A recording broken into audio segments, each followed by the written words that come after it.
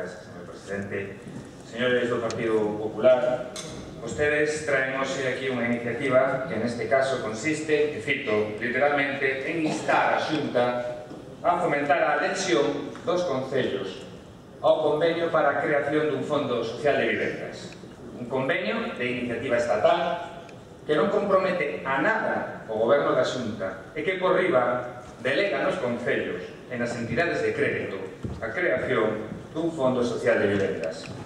E non é que nos teñamos nada en contra, como poden comprender, de que a Xunta anime os concellos a asinar convenios para, eh, para unha cuestión na que a nós nos parece eh, que hai unha gran preocupación social. Pero a cuestión aquí é que ten pensado facer o goberno galego para garantir o dereito á vivenda da cidadanía e para deter a sangría social dos desafiuzamentos. Esa é a cuestión.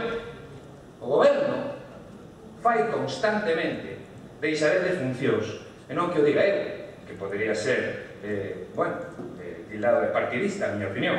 O di o Valedor do Pou e o di claramente no seu informe onde di que a xestión en materia de vivenda é francamente nefasta. Porque señor eh, Boceiro do Partido Popular a mellor política en materia de vivenda é procurar que as familias que a teñen unha perda se o primeiro que habería que conseguir en esta materia, señorías a supresión das axudas de subsanación de préstamos para adquisición de vivenda protegida que vostedes suprimiron acabou afogando a milleiros de familias como sucedeu, como sucedeu no barrio de Navia en Vigo. Resulta imposible de entender que coa que están a, a caer, coa que está caendo, se supriman axudas para a xente que ten vivenda social.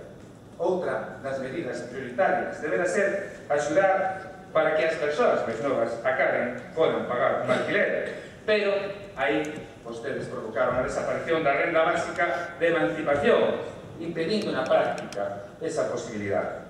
Como tamén era moi importante as axudas para a rehabilitación de vivendas no rural, suprimidas polo seu decreto 44 barra 2011, e que supón na práctica, ese sí, un verdadeiro impulso para o despoboamento do rural.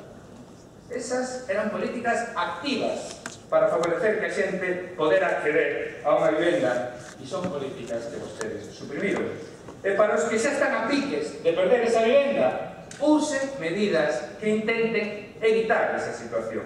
Por lo tanto, use eh, tomar medidas para que a xente poda renegociar a súa deuda, para que as persoas e familias que se atopan pendentes dunha execución hipotecaria non a perdan. Eso é prioritario, resulta fundamental neste caso tamén eh, a flexibilización das condicións de acceso a unha justicia gratuita para que as persoas podan defender os seus dereitos en caso de desafitamento. E para os que xa perderon a súa vivenda, para os que todas as anteriores medidas xa chegan tarde, resulta imprescindible fomentar o alugueiro social, sí, pero poñendo a disposición da cidadanía as, os milleiros de vivendas, baleiras, das entidades de crédito, moitas delas entidades financiadas con dinheiro público. Ouse acabar con ese sin sentido que consiste na existencia de milleiros de casas sin persoas e millóns, milleiros de persoas sen casa. Eso é o que sucede. Ouse, por tanto, a abrogación da dación en pago con carácter retractivo, como aquí xa se dixo, incluso dende instancias europeas. Isto é o que fixo o goberno do Partido Popular. Suprimir medidas e non aprobar as que verdadeiramente eh, posibilitan a solución do problema.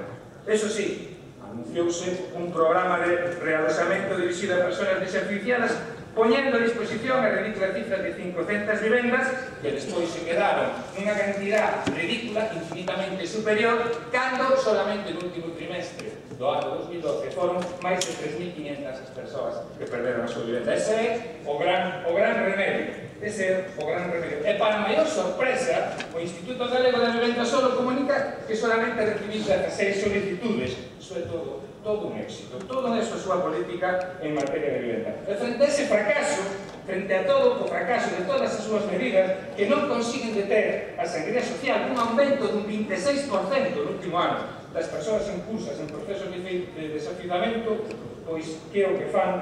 Pois nada, non fan nada.